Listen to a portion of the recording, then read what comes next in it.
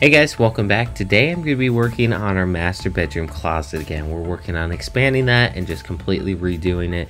In one of the previous videos I've done, I've actually torn out the master bedroom closet and expanded it, basically combined two closets into one. And then in the next video, I built these custom drawers to go at the bottom of the closet to fit the space perfectly. We don't have a ton of space, so I wanted to optimize what we do have. And building that from scratch was the best way that I could do that. Now I'm going to start building the top piece of this cabinet just to set down on top of the drawers that are already there.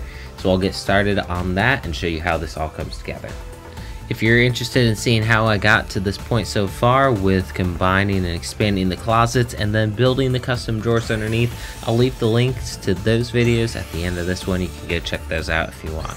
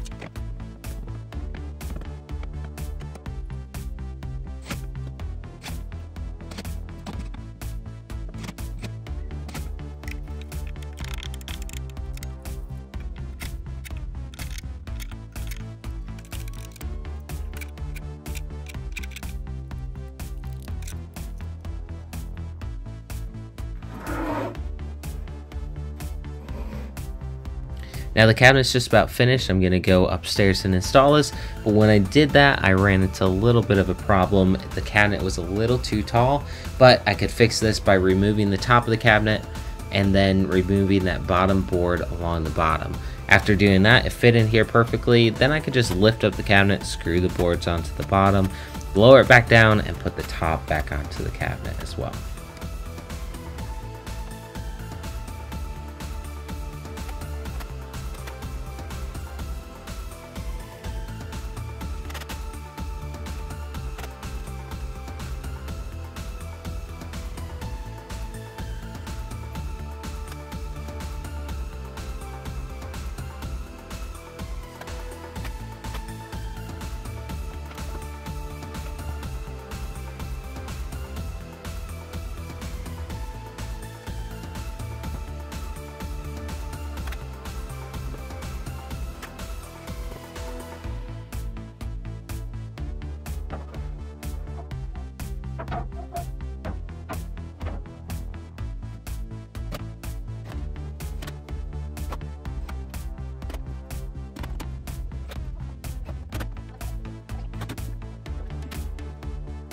With all the weight of the clothes on this, you definitely don't want something like this tipping over on you. So I'm going to be sure to fasten these to the studs in the wall up top. And then along the bottom, I'm screwing this straight down into the cabinet below with the drawers right onto that countertop. So this isn't going anywhere. It's really sturdy, really nice. I'm going to go ahead and sand this down, throw a quick coat of paint on here. Then I also need to add in the rods to hang all of our clothes in here.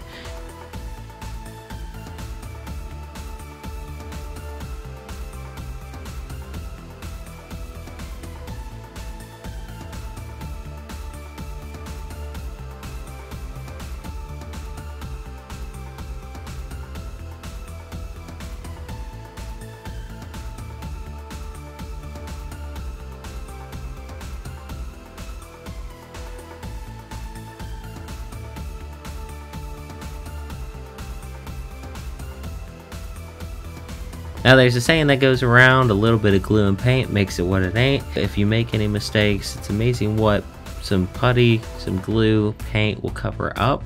So I'm just going to go around here. This makes it look so much nicer. Instead of having any gaps up against the wall around the trim, you can just come back with some caulking, make sure you fill in all those cracks. And if there's any imperfections on the plywood itself, gaps in the, in the wood, I'm going to just fill that in with a little bit of caulking and it just makes it look so much nicer.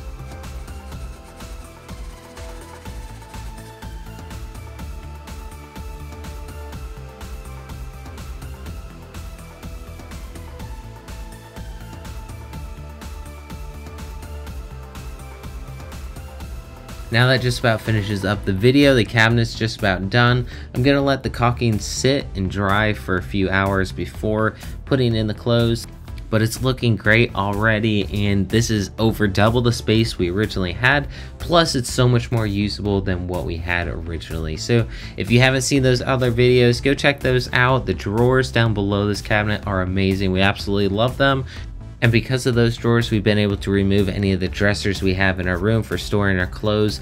Now everything's in our closet and our room feels a lot bigger. In a future video, I'm planning on building some doors to cover up this closet and keep it neat.